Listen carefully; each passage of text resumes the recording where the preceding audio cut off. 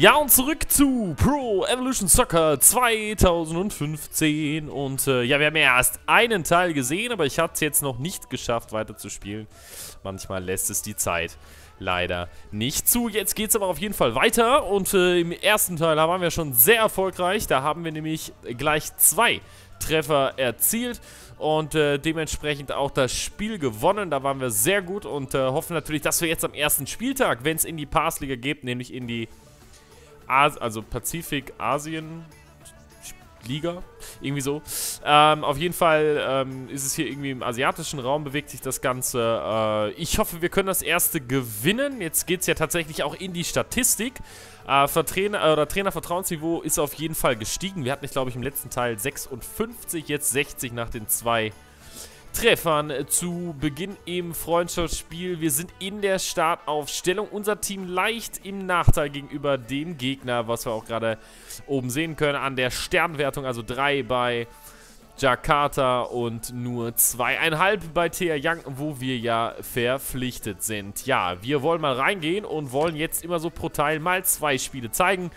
Wir gehen ins nächste Spiel, die Karriere bei Pro Evolution Soccer und ich hoffe, dass wir wieder ähnlich erfolgreich sein können. Was mich äh, nicht so überzeugt hat, ähm, entschuldigt, äh, war ja leider, dass jetzt auch mittlerweile die Pfeile existieren, wie bei FIFA. Jetzt hat mir letztes Mal noch einer einen Hinweis geschrieben, was ich mit der Kamera machen muss. Aber glaubt mir mal nicht, dass ich mir das jetzt gemerkt habe. Das heißt... Ah, lasst mich mal überlegen. Hoffentlich fällt es mir jetzt ein, wenn ich gleich die Kamera einstelle, weil ich meine, da war eine dabei wo er sagte, dass man äh, das fixieren könnte aufs Spiel und nicht Saison. auf sich selber. Wir gehen mal in den ersten und schauen mal rein. Ich halte mal den Mund. Mit unterhaltsamem Fußball entgegen.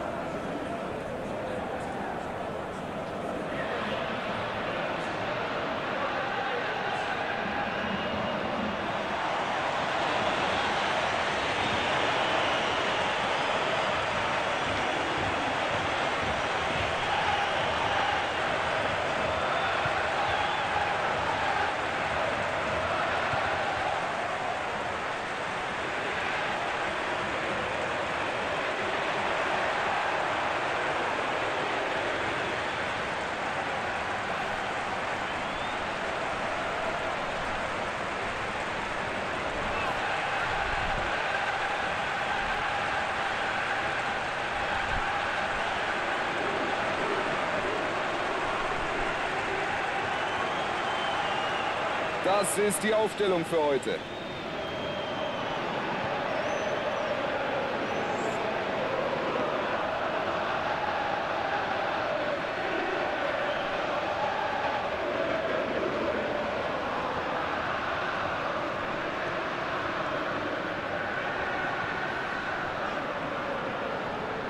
Also, ähm, wollen wir mal reingehen. Wir sehen jetzt, äh, wir sind wieder vorne rechts aufgestellt. 4-1-2-3 Formation. Gerade sagt mir, oder ich habe jetzt gerade nochmal hier den Kommentar von euch auf, dass ähm, Kamera auf den Ball gleich Select. Jetzt gibt es ja hier kein Select mehr. Das wäre also Share oder Options. Eins von beidem. Oder es gibt hier irgendwo eine Möglichkeit, aber ich sehe es jetzt hier nicht. Spieler, Weit, Weitwinkel, Benutzer definiert. Kann ich jetzt, wie gesagt, hier nicht feststellen, ob es jetzt hier irgendwie eine Möglichkeit gibt. Angeblich Select, aber was soll denn da Select sein jetzt hier? Es gibt kein Select. Aber gefühlt ist der, die Kamera jetzt auf dem Ball, oder? Vertue ich mich. Ist ja egal, auf jeden Fall starten wir und äh, hoffentlich äh, erfolgreich in diese Saison. Wir bieten uns direkt an. Um, wir haben natürlich nicht so die krasse Fitness und äh, das sollten wir auch berücksichtigen. Immer vorsichtig sein. Da kommt der Ball, wir sind schnell. Ja, der Ball, der kommt auch auf uns. Der erste Schuss aufs Tor. Und da hätte es gleich mal scheppern können. Was für eine Aktion. Schöner Ball da in richtigen Moment gespielt und wir schaffen es beinahe hier, den Ball im Tor unterzubringen. Wunderbare Aktion. Erste schöne Aktion nach vorne. So muss das sein. So darf das starten, das Spiel. Und äh, hoffentlich geht es so weiter. Für uns bisher erfolgreich. Suchen eine Anspielstation. Finden sie auch. Beide Teams sofort mit einem guten Tempo und es Ah, hat der auch Ball schon jetzt mal lang, weil wir ihn angefordert haben. Der kommt auch wieder. So, jetzt mal den Ball wieder in den Lauf. Kriegt er ihn? Nein, kriegt er nicht. Oh, war das knapp. Alle so ein bisschen dabei gewesen, aber hat nicht ganz gereicht. Kommt der Ball wieder. Gefühlt kriegen wir hier sehr viele Bälle. Da kommt der Ball jetzt durch. Ist es abseits oder ist das kein Abseits? Und wir legen einen auf für unseren Mitspieler. Schnelles Kontertor erzielt. 120 GP erreicht und wir machen unsere erste Vorlage der Saison, haben den Ball schön an zentraler Position bekommen. Und äh, sehen den Mann dann frei, da kriegen wir ihn, ihr seht es. Und dann haben wir gleich zwei Anspielstationen, entscheiden uns aber für den Spieler auf der linken Seite, eins, zwei. Und der ist drin. Gefühlt war es immer so bei PS, bei, drei, bei der dritten Ballbewegung war es schon kein Assist mehr, aber hier ja nur zwei benötigt, also ein Assist, der auf unser Konto gehen wird. 1 zu 0 in Führung. Das ist die Führung. Und das ist der erste in der Saison. Ja Mensch, was ist denn das hier? Wir spielen ja richtig erfolgreich. Und Spaß macht es auch noch. PS ist einfach ein geiles Spiel. Dieses Jahr das Spielgefühl deutlich besser. Deutlich ähm, flüssiger. Wieder zurück zu Zeiten zu PS6 und PS5. Was alle begeistert, was allen Spaß macht. Der Gegner kommt hier zum Schuss, aber keine Chance hier.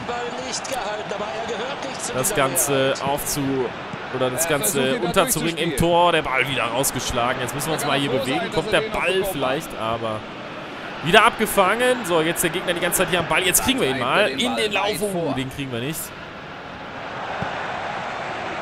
Auf der Schusstaste, also in dem Fall Viereck bei Pro Evolution Soccer, ihr vertut euch nicht, Ähm, ist es ja so, dass wir Kennedy. auf der Viereck-Taste uns Spieler ranholen können, die äh, mit uns dann Druck auf den Ball für den Spieler ausüben. Das war gar nichts, aber wir kriegen den Ball zurück. Und jetzt mal mit Tempo. Ja, und da werden wir nicht angegriffen und das ist gefährlich und deswegen lassen wir einen fliegen. Und der Torwart mit Problemen. Kann ihn gerade noch aus dem Winkel fischen. Also, wir spielen wirklich gut und ich habe es ja mal zu Anfang erwähnt, der Schwierigkeitsmodus, der ist der zweithöchste. Topspieler. Danach kommt ja nur noch, ich glaube, Superstar. Gefühlt. Ist das der richtige Schwierigkeitsgrad? Es läuft auf jeden Fall ganz gut. Vielleicht kommt er jetzt, aber nein, leider nicht. Äh, Die Ecke war gar nicht schlecht. In den schlägt ihn nach vorne. 5-Meter-Raum geschlagen, muss nur ein bisschen tiefer kommen. So kommt leider nur der Torwart dran. So, jetzt fordere ich beispielsweise einen zweiten Mann an, der mich hier unterstützt, auf den Ball für den Spieler Druck auszuüben. Aber der Ball, der ist jetzt wieder in unseren Reihen. Jetzt geben wir mal wieder Gas. Ihr seht schon, unsere Fitness ist schon wieder fast am Boden. Also, das wird sich natürlich auch mit der Zeit noch etwas verbessern. Hoffen wir es zumindest.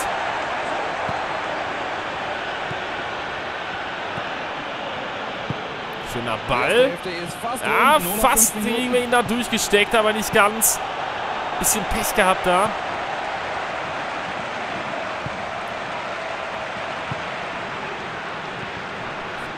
Bewegen uns wieder auf unserer Position.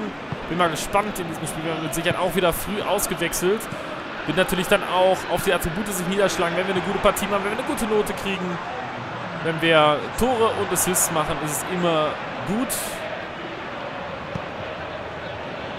Das Ganze wird sich dann vermutlich auch irgendwann auf die Fitness auswirken, können das ja Ganze auch noch durch Fokuspunkte nachher verteilen, wenn wir sagen, uns geht das nicht schnell genug.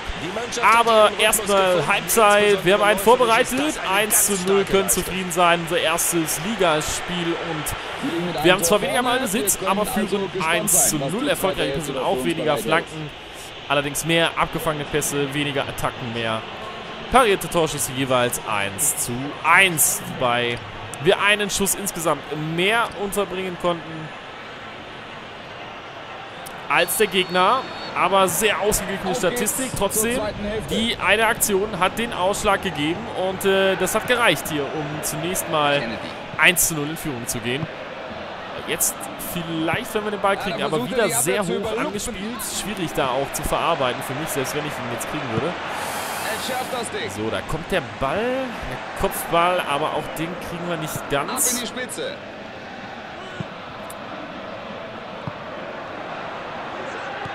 Haben ja auf sieben Minuten Spielzeit gestellt. Oh, der Ball jetzt schön gespielt vom Gegner. Ah, schade, der war sogar für uns gedacht. Ich würde mal behaupten, jetzt klappt das hier mit der. Kamera. Ich weiß nicht, woran das liegt. Ich jetzt hier auf Select gedrückt habe, was gar nicht mehr auf der PlayStation Controller zu finden ist. Das wäre ja dann das Touchpad vielleicht. Ich habe auf jeden Fall drauf gedrückt. Kamera zentriert. Also danke für den Hinweis. Kennedy. Ah, jetzt war der Ball. Der kommt da auch. Schöner, langer Pass. Das war wichtig, dass wir uns hier nochmal am Offensivspiel auch beteiligen. Ja, der war auch für uns gedacht, aber dann müsste er auch ein bisschen präziser kommen. Da in den Rücken gespielt von unserem Mitspieler. mal Ja, den Ball fangen wir ab. Sehr gut. bringen. Der Trainer hat noch gar nicht gewechselt heute. Ah, schade. Da hören schon, da machen sich die ersten warm an der Außenlinie. Ist ja auch klar, wir sind völlig blank, was die Fitness angeht. Werden jetzt hier kein Laufduell mehr gewinnen. Ah, der Ball kommt wieder lang, aber wir sind, momentan haben wir das Spiel einigermaßen im Griff. Ein langer Ball über Nicht mehr viele Aktionen des Gegners nach vorne, obwohl wir, wie gesagt, schlechter einzustufen sind von der Gesamtbewertung. Trotzdem führen wir hier.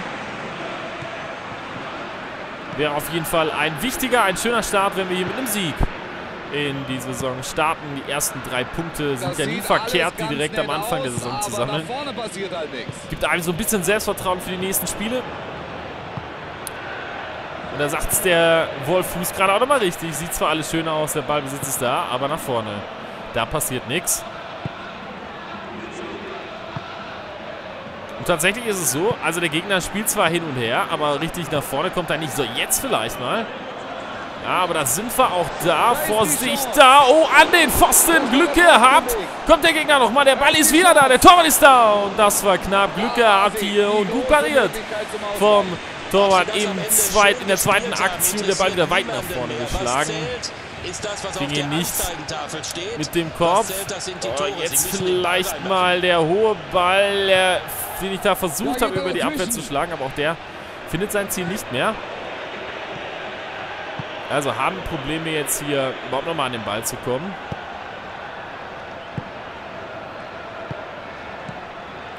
Jetzt sind nur noch wenige Minuten zu spielen. Aber solange der Ball zumindest von unserem Tor weg bleibt, wäre das ja alles schon erstrebenswert hier. Oh, der Ball fast nochmal durch. Jetzt müssen wir hier nochmal Meter machen, auch wenn uns die Fitness eigentlich nicht mehr wirklich dazu befähigt. Aber gerade nochmal den Ball erobert, leider wieder schnell verloren. Das war nicht gut. Oh, schöne Aktion da mit dem Tackling den Ball erobert und wir gewinnen 1 zu 0 im ersten Spiel. Wichtig. Erste Eindrücke aus der Saison auch gesammelt und äh, wir sehen auch, wir freuen uns zu Recht, denke ich. Erstes Spiel, erste Vorlage für uns und vor allen Dingen erster Sieg. Und das trotz deutlich weniger. Ballbesitz, wir kriegen eine 7,0. Das ist eine ordentliche Bewertung, keine überragende Bewertung, aber immer noch in Ordnung. Hätte ich mir trotzdem ein bisschen mehr erwartet vielleicht. Die 7,0 ist doch recht niedrig. Obwohl wir eine Vorlage geleistet haben, aber schauen wir mal, was woran das liegen könnte. Gespielte Zeit 90 Minuten, nur 20 Ballkontakte. Das ist natürlich wirklich nicht viel. Und äh, da sieht man also auch schon, woran es liegen kann, dass es halt individuell nicht ganz gepasst hat von der Note. Trotz der Vorlage, aber wir haben zumindest unser Profidebüt gegeben. Das sehen wir oben rechts. Haben eine Vorlage geleistet. Und äh, gucken wir hier auf die ersten Ergebnisse. Höchster Sieg hier von Karim Sharai oder wie sie auch immer heißen. Mit einem 3 zu 0. Ansonsten hält sich das alles in Grenzen, was die Ergebnisse angeht. Das heißt, wir erobern zumindest mal zu Beginn nach dem ersten Spieltag den Tabellenplatz 4 mit äh, ja, vier weiteren Teams. Und ähm, ja, noch alles ausgeglichen, logischerweise. Wir können mal gucken, ist bei den Attributen ein bisschen was passiert. Das sehen wir wahrscheinlich eher hier. Ihr seht, dass die blauen Leisten sich unterschiedlich weit gefüllt haben. Beispielsweise steigt das Dribbling nicht so stark wie Attribute, die eher gering sind. Das liegt natürlich daran, dass Dribbling schon auf 81 ist bei uns. Von daher haben wir hier nicht allzu viel zu erwarten. Spielerfähigkeiten noch keine, die müssten wir ja dann ausbilden. Insgesamt aber nicht schlecht, dass wir hier schon mal eine Vorlage geleistet haben.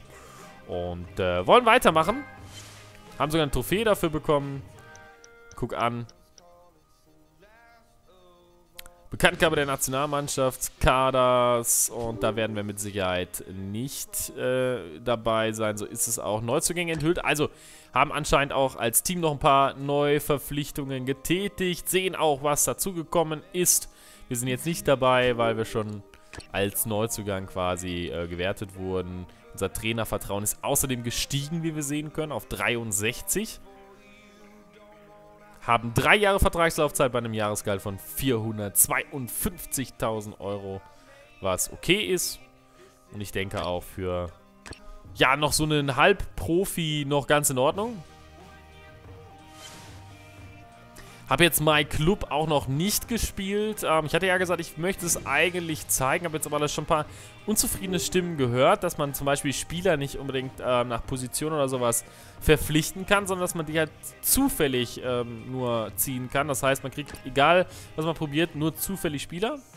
Ähm, was natürlich insgesamt nicht gut wäre, weil man dann halt vielleicht einen Verteidiger braucht, aber die ganze Zeit nur Stürmer oder Mittelfeldspieler bekommt. Ähm, das wäre das Schlechteste. Ich habe es allerdings noch nicht gespielt. Ich würde mich auch gerne vorher selber noch mal ein bisschen damit beschäftigen, selber ein bisschen spielen ähm, und dann mit euch das Ganze vielleicht noch mal ab und zu dann reinschauen. Immer mal wieder ein Spiel spielen. Ich hätte auf jeden Fall richtig Lust ähm, und möchte es auch durchaus mit euch machen. Und äh, würde mich auch mal interessieren, wie ihr das seht. Habt ihr da vielleicht auch Spaß dran, ein bisschen von My Club zu sehen? Ähm, es muss ja nicht so regelmäßig sein, aber ich denke mal, dass man vielleicht schon mal den Modus gesehen haben möchte. Wir gehen mal weiter. Ähm, Sangran gegen T. Yang und äh, wieder 3 gegen zweieinhalb Sterne. Wir sind wieder leicht unterlegen. Aber unsere Karriere hat sich ja schon ganz gut entwickelt. Es macht wirklich unheimlich Spaß, einfach zu spielen, weil dieses Spielgefühl ist einfach total genial. Es ist einfach wie, ich kann es immer nur wieder betonen, wie PS5, wie PS6. Das macht einfach Spaß. Es ist super. Ähm, ich habe richtig Lust, auch gleich mal irgendwie selber ein bisschen online zu zocken. Ja, das ist einfach also Pro Evolution Soccer begeistert mich in diesem Jahr einfach wieder durch die Spieldynamik, durch das Spielgefühl an sich. Das ist bei FIFA bei weitem nicht so schön dieses Jahr. Äh, das Einzige, was mich so ein bisschen enttäuscht, ist äh, die Ausarbeitung. Da haben sie ein bisschen zurückgestuft. Ich hatte ja gesagt, früher musste man sich in einem Auswahlspiel im Karrieremodus beweisen. Jetzt kriegt man einen äh, Verein zugewiesen. Aber wir sehen ja auch keinen Weltklasse-Verein, sondern wir waren bisher immer das unterlegenere Team haben ein Team zugelost bekommen, wo wir äh, schon spielen, aber auch äh, wenn der Ball vorhin im Aus gewesen wäre, aus, auch ausgewechselt gewesen oder geworden wären. Aber der Ball war die ganze Zeit im Spiel, so sind wir da 90 Minuten drauf geblieben. Das ist dann natürlich ein bisschen verwischt, dass es hier bei PS schon ein bisschen schneller geht mit dem Auswechseln als bei FIFA.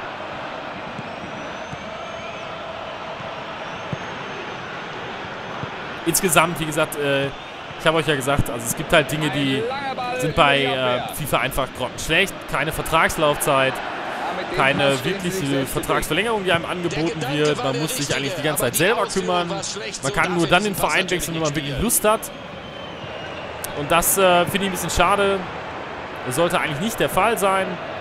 Hier gibt es übrigens auch Entwicklungsstufen. Also wir befinden uns jetzt gerade auf einer Stufe, wo wir unser Potenzial noch am Ausschöpfen sind. Da haut er einfach mal drauf, das hätte was werden können. Ach so, wir müssen ja wieder gleich die Kamera zentrieren. Fällt mir ein. So, jetzt mache ich das nochmal über das Touchpad. Vielleicht ist es hier wirklich das Problem. Ah ne, das war jetzt der falsche Knopf. Sorry.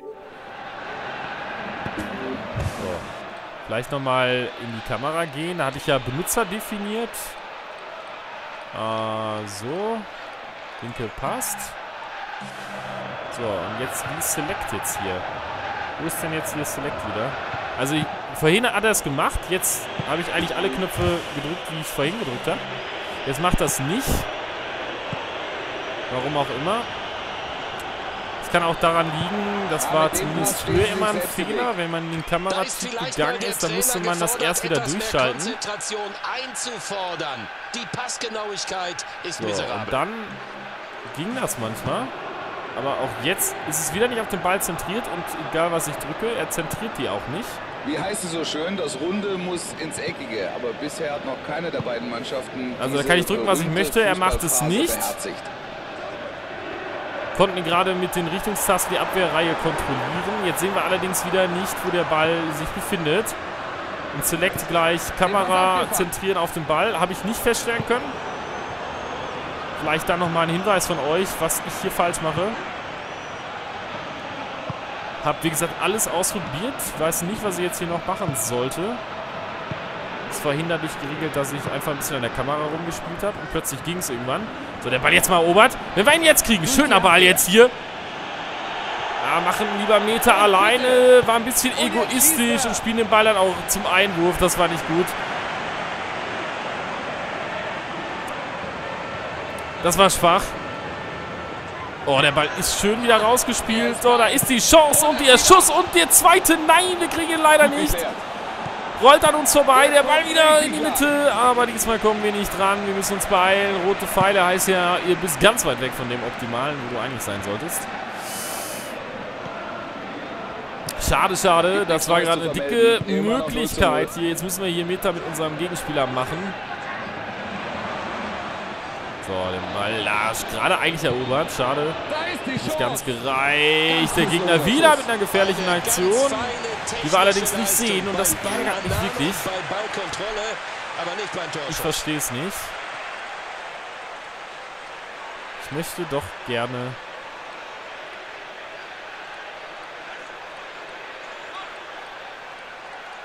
Warum kann ich jetzt nicht die... Ich weiß nicht, was ich hier machen muss. Also es ist wirklich...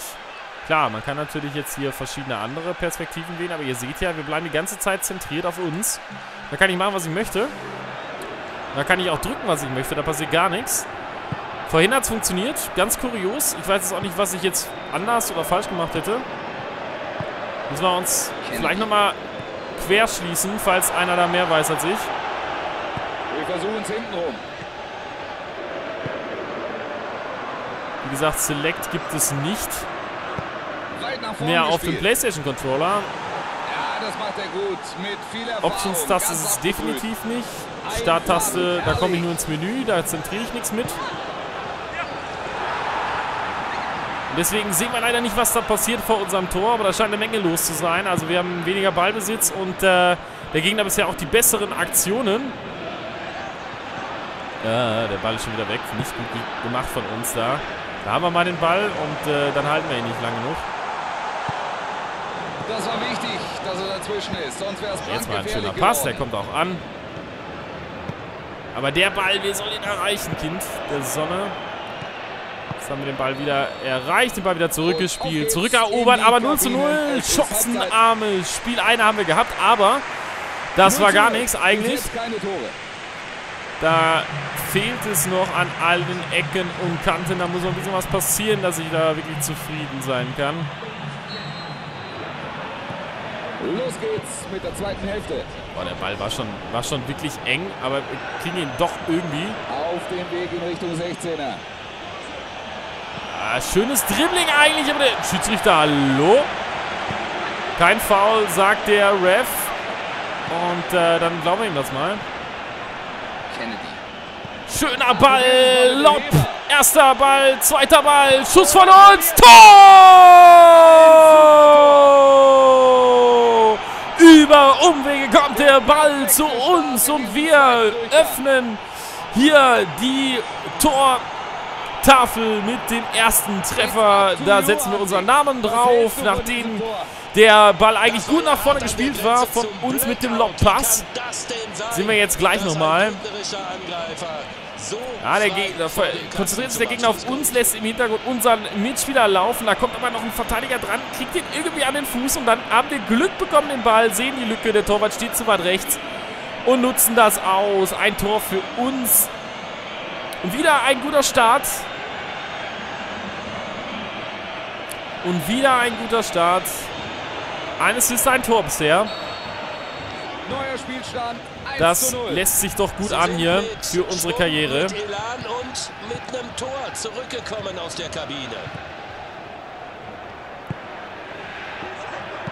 Müssen jetzt natürlich wieder defensive Aufgaben auch lösen. Ja, da muss er vorsichtig sein. Da kriegt er den Ball. Und dann spielt er den so schlecht raus. Und das ist das Tor für den Gegner. Weil wir da nicht gut in der Abwehr den Ball rausspielen. Wir fordern den Ball und wollen ihn eigentlich. Aber dann spielt er ihn dem Gegner in den Fuß. Und wir haben Probleme hier den Ball dann rauszubekommen. Wir gucken das Tor nochmal an, weil wir es ja nicht richtig gesehen haben. Aber sehr, sehr schade. Weil so ein bisschen waren wir auch Auslöser, weil der Ball eigentlich zu uns kommen sollte ursprünglich. Schauen wir uns nochmal in der Wiederholung an. Da kommt der Ball. So, jetzt haben wir ihn eigentlich sicher. Da, da fordern wir jetzt den Ball. Und er muss uns den eigentlich nur anspielen, aber spielt dem Gegner den Ball in den Fuß. Und dann ist er zu spät dran, nur noch hinten dran. Und dann kriegt er den irgendwie rum, Innenpfostentor. Auch noch Glück beim Abschluss. 1 zu 1, so schnell kann es gehen. Und das ist halt anders als bei FIFA, definitiv. Weil hier kann der Gegner auch mal Tore schießen. Gibt's ja gar nicht. Ein neuer Stand der Dinge.